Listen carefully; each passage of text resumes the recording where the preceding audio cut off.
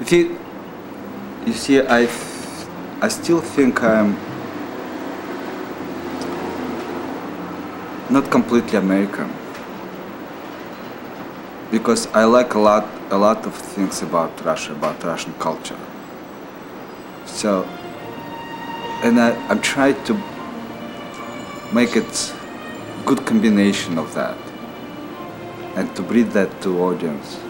Even when I'm dancing, it's not just my technique, it's my soul, it's my culture. That's what I think I'm trying to make when I'm dancing on stage.